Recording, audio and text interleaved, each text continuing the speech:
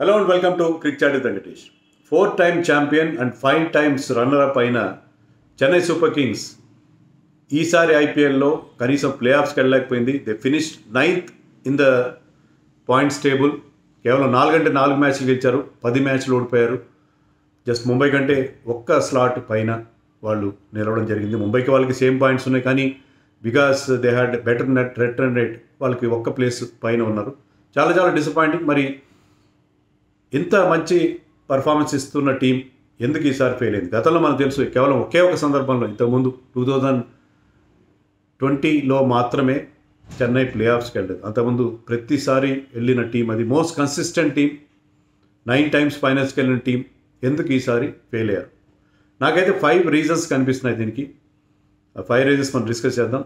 First and foremost of course change of captaincy సరిగ్గా ఈసారి tournament start అవడానికి ఒక్కరోజు రెండు రోజుల ముందు ధోని ఒక బాంబు పేల్చాడు.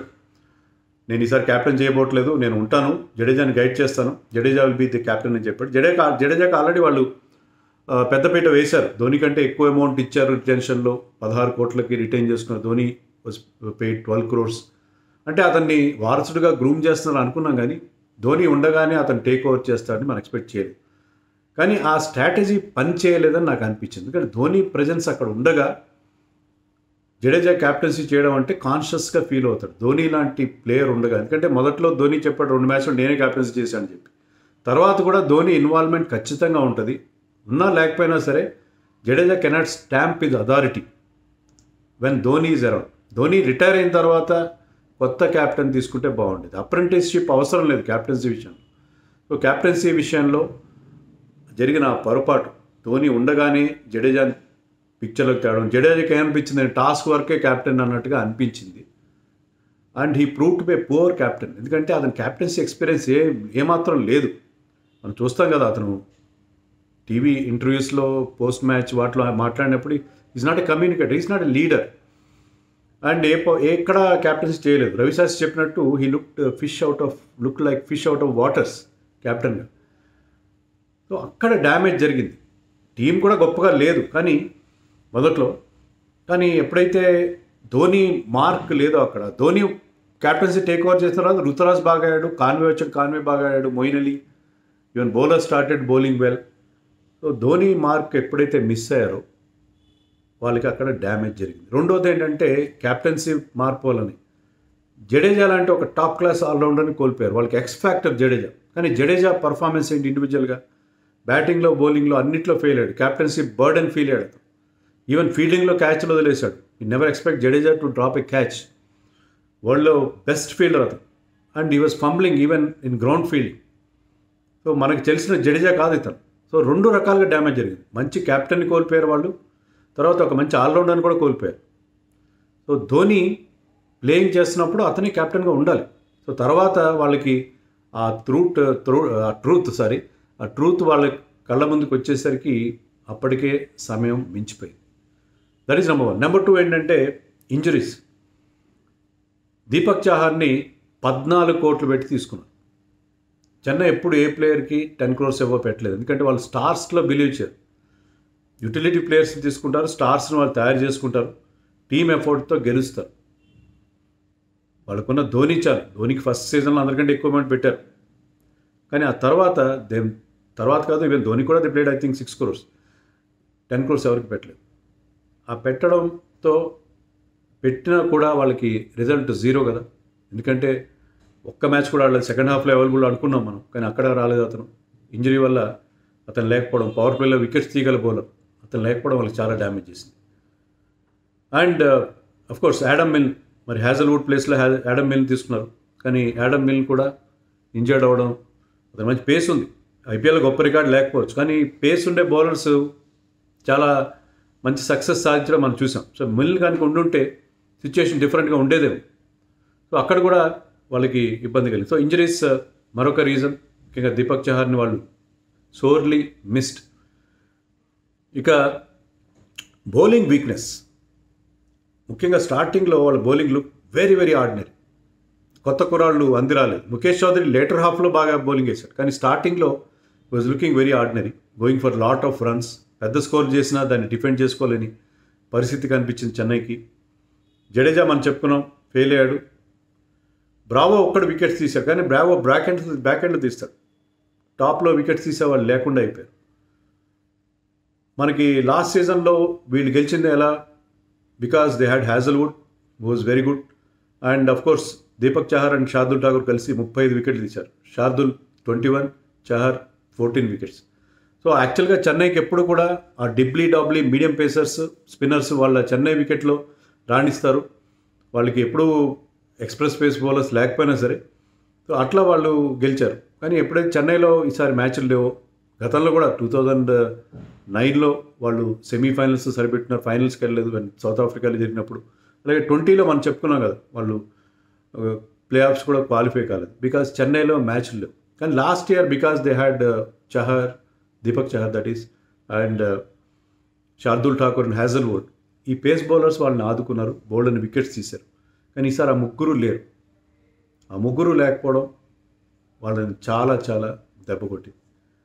అండ్ వాళ్ళ స్పిన్నర్స్కి ముఖ్యంగా జడేజా ఫెయిల్యూర్. మొయిన్ అలీ కూడా అంత ఇనీషియల్గా సరిగ్గా బౌలింగ్ వేయలేదు.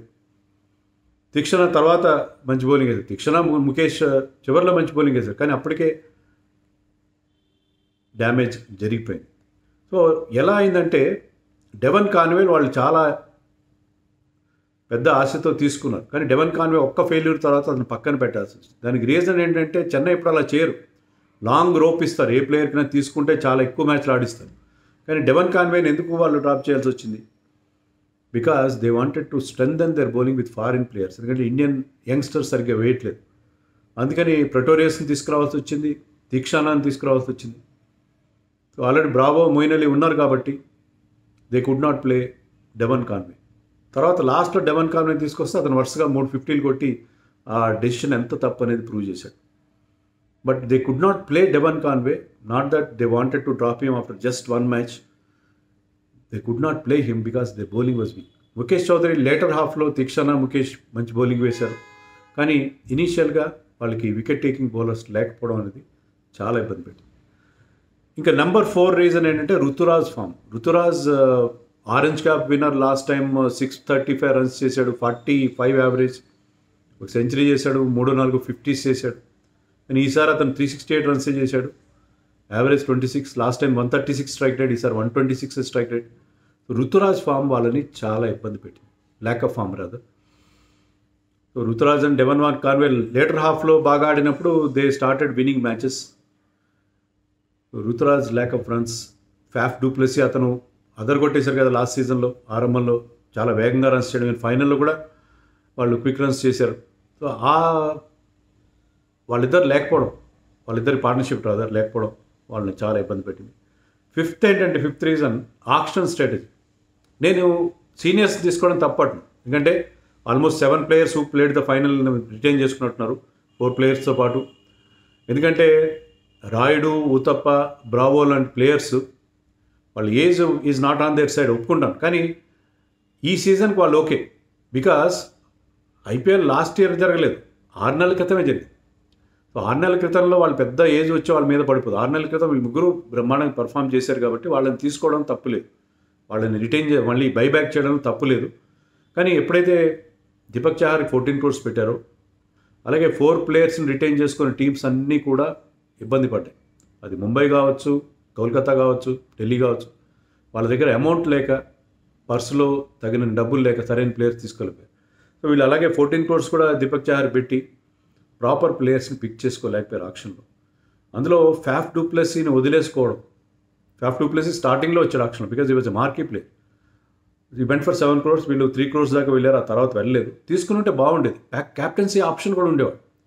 క్యాప్టెన్సీ ఆప్షన్ కూడా దొరికేది అండ్ ఆ కాంబినేషన్ ఆ సక్సెస్ఫుల్ ఓపెనింగ్ కాంపిటీషన్ రిపీట్ చేసినట్టే. కానీ వాళ్ళు ఏం ఆలోచించారంటే ఒక యంగ్ ఓపెనర్ తీసుకుందాం ఇతను థర్టీ సెవెన్ కదా అని అనుకున్నారేమో. And Conway can also keep wickets. Dhoni ఒకవేళ రిటైర్ అయితే కాన్వే వికెట్స్ కూడా పెడతా. అందులో వాళ్ళ కోచ్ న్యూజిలాండర్స్ ఈ న్యూజిలాండర్స్ ఎప్పుడు మీరు చూడండి వాళ్ళ కామెంటేటర్స్ కూడా వాళ్ళ ప్లేయర్స్ని బాగా వెనకేసుకొస్తారు. మైక్ హెసన్ కానీ ఫ్లెమింగ్ కానీ they try to push their players. So అది వాళ్ళు తప్పని చెప్పట్లేదు. కాన్వేని తీసుకోవడం కరెక్టే కాన్వే ప్రూవ్ కూడా చేసుకున్నాడు.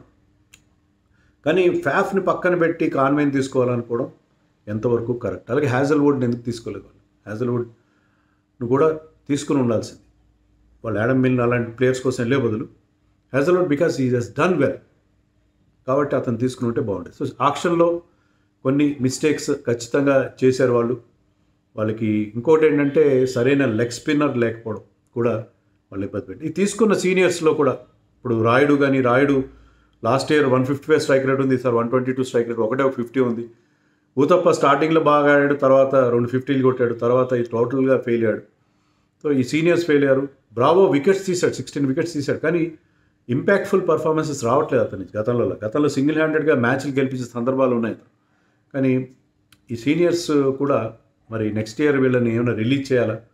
నెక్స్ట్ ఇయర్ ఈ ఫైవ్ రీజన్స్ అయితే ఇవి. నెక్స్ట్ ఇయర్ విషయాన్ని మనం చూస్తే ఏంటంటే నెక్స్ట్ ఇయర్ వాళ్ళ టీం బాగుండే అవకాశం చాలా ఉంది. ఎందుకంటే they will definitely go for Sam Curran Sam Curran లాంటి ప్లేయర్స్కి డేవిడ్ మలాన్ ఇలాంటి వాళ్ళ కోసం వెళ్తారు.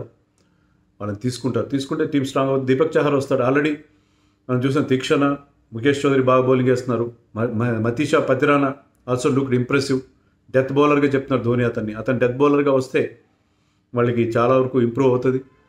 So next year with Ruturaj might come back to form Devon Conway is doing well Dhoni ఈ సీజన్లో కూడా బాగానే పర్ఫామ్ చేశాడు. నెక్స్ట్ సీజన్లో కూడా అతని నుంచి మనం ఎక్స్పెక్ట్ చేసి Dhoni will be around and Dhoni should be the captain should continues captain అతను ఆడుతున్న రోజులు వేరే వాళ్ళు కెప్టెన్ ఇవ్వాల్సిన అది ఎవరికి ఇచ్చినా సరే ఎంత సీనియర్ ప్లేయర్కి ఇచ్చినా సరే ధోని ప్రెజెన్స్లో వాళ్ళు కాన్షియస్గా ఫీల్ అవుతారు సరిగ్గా క్యాప్టెన్సీ చేయలేరు. So Dhoni should continues captain next సీజన్లో చెన్నైలో మ్యాచ్లు ఉంటాయి కాబట్టి డెఫినెట్గా వీల్ సీ డిఫరెంట్ సిఎస్కే దాంట్లో సందేహం లేదు. కానీ ఈ సీజన్ మాత్రం totally disappointing for the five reasons ఇంకా ఏమైనా రీజన్స్ మీకు మీకు అనిపిస్తే అవి నాకు కామెంట్స్లో చెప్పండి.